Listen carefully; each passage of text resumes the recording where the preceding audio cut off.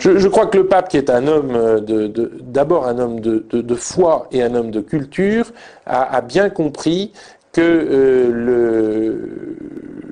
le, fait de réapprendre le latin était essentiel pour euh, tous les jeunes euh, séminaristes, pour tous les futurs prêtres, et, devait les aider à être à l'aise avec leur propre culture. Il n'est quand même pas normal que la culture de référence d'un prêtre aujourd'hui, ce soit euh, soit la psychanalyse, soit la sociologie, soit même le marxisme, toutes choses qui d'ailleurs ont beaucoup vieilli la culture de référence d'un prêtre, c'est la théologie catholique, qu'on le veuille ou non. Euh, après, on peut très bien euh, s'intéresser euh, à tel ou tel auteur important, on peut se plonger dans les œuvres de Freud ou de Marx, mais à condition d'avoir ce, ce bagage spirituel, intellectuel, culturel, euh, qui suppose aussi euh, la maîtrise de la langue latine et peut-être, euh, en tout cas, une connaissance au moins élémentaire de, la langue grecque, qui est la langue originelle des évangiles et, donc du christianisme.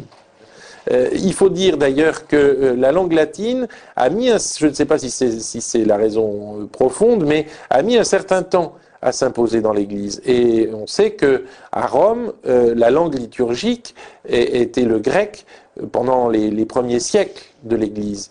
Euh, donc la, la, langue latine est devenue euh, langue liturgique pratiquement qu'au moment où les parlers romans et les parlers populaires commençaient à s'écarter de la, de la grammaire euh, latine et de la, de la, réalité de, cette langue. Vous voyez, une, langue sacrée, euh, ce n'est pas, pas forcément euh, la langue que l'on parle.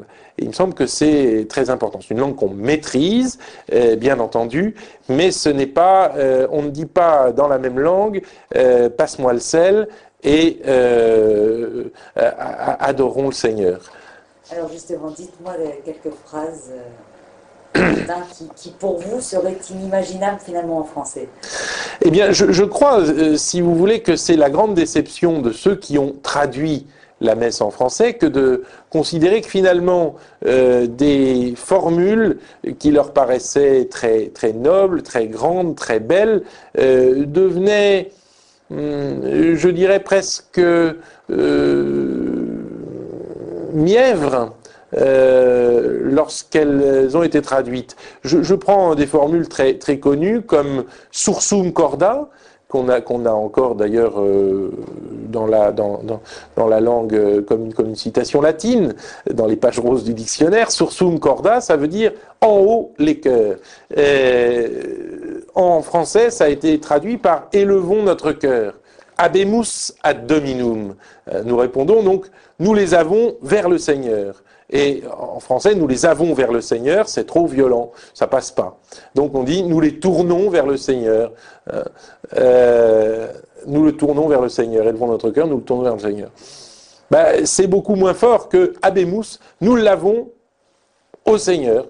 Dominus vobiscum, le Seigneur avec vous le Seigneur soit avec vous, c'est un vœu pieux. C'est pas la même chose. Il n'y a pas de verbe au subjonctif, et c'est pas pour rien dans le latin. Euh, et je ne parle pas de et avec votre esprit. Et avec votre esprit, euh, on emploie en français, donc dans la traduction française, le vous soiement, mais qui devient prodigieusement ambigu parce que euh, le prêtre dit au pluriel le Seigneur soit avec vous, il le dit à la foule, et la foule répond et avec votre esprit.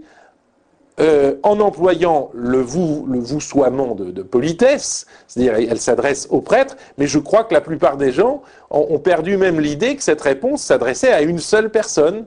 Euh, euh, donc le, le, latin et cum spiritu tuo et avec ton esprit, donc me semble beaucoup plus vigoureux.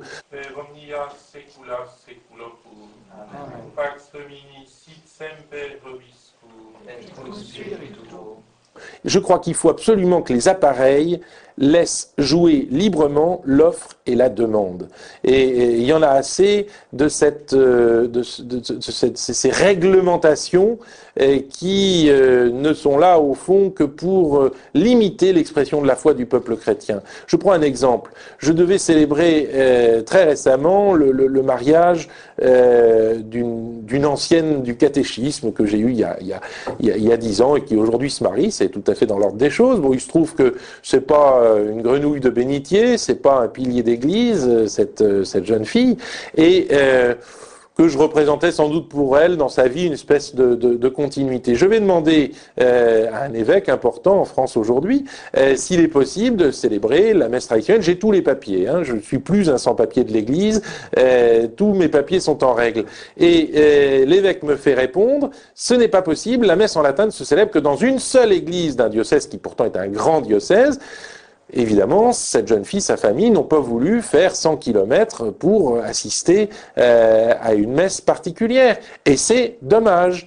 Euh, c'est dommage. Donc je crois qu'il faut absolument euh, arriver à une déréglementation de, la, de, tradition, une libéralisation, une libération de la tradition. Et que si on arrive à cette libération, eh bien les choses iront tout naturellement dans le sens euh, je dirais, d'un retour de l'Église à sa tradition. Je vais vous donner euh, un exemple qui m'avait beaucoup frappé.